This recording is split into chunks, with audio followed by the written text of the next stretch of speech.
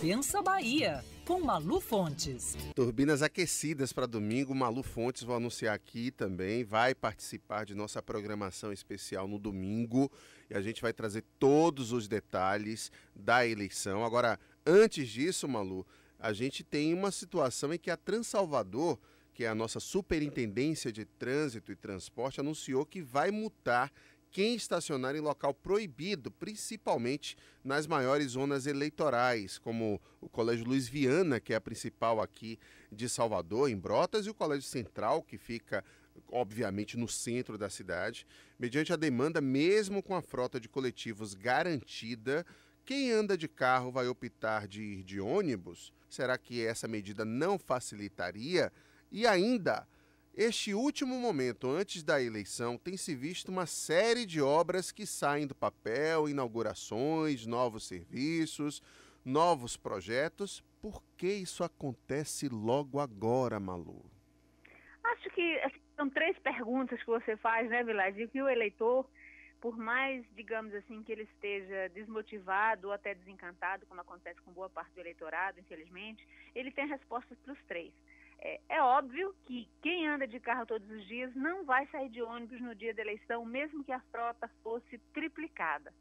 Né? E aqui não vai nenhuma campanha minha, sua, de ninguém, no sentido de dizer, não, mas no dia da eleição a prefeitura deveria fazer vista grossa, deixar cada um estacionar onde quiser. Claro que não. Mas, de certa forma, é, a gente fica se perguntando, dentro desse choque de ordem, como todo mundo vai sair ao mesmo tempo para os mesmos lugares. É diferente num dia comum, que cada um vai para o shopping, vai para o seu trabalho, cada um em um lugar diferente. As zonas eleitorais, elas são muito concentradas.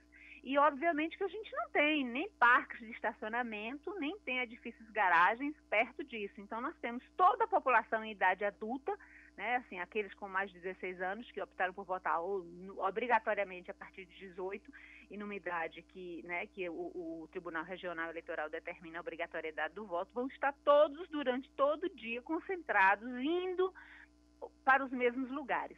E isso, óbvio, para aqueles que têm carro, vai gerar transtorno pela falta de lugar onde estacionar. Né? De ônibus, essas pessoas a gente já combinou. Quem andou de carro uma vez não vai abrir mão para andar de ônibus, óbvio. Em relação às obras, eu acho que é uma espécie de infantilização do eleitorado.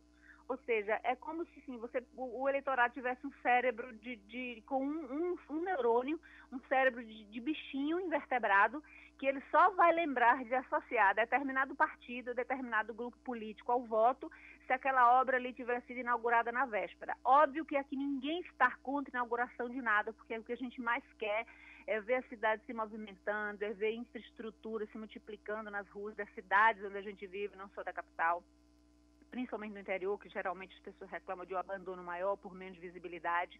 Mas, assim, por que será, literalmente, né, que a gente vê é, é, na véspera, quase que na noite da eleição, as pessoas inaugurando obras, isso nos dois lados, assim, digamos assim, os dois candidatos que estão à frente das pesquisas, inaugurando obras justamente na véspera da eleição, para que o eleitor associe aqui, umas até com show, né, com coisas pirotécnicas, ou então com grandes mandatários da nação que vêm para cá, porque a gente é quase que um pedido, olha, eu estou te dando isso, eleitorzinho, amanhã não se esqueça, vote em mim, porque esse é um presente que eu estou te dando. Não tem presente nenhum, e a gente gostaria que essas obras, sim, fossem entregues, estejam aí, vão ser nossas, a gente vai usufruir, a cidade precisa, a gente pagou por elas, mas não precisariam ser entregues, né, quase que na boca da urna, como um pedido, toma lá da cá, eu te dou a obra, você me dá o voto.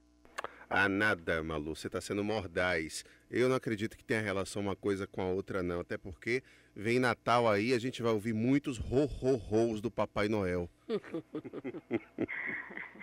Acredita em duende, né? Acredita em duende. Tá bom, Malu. Um abraço para você.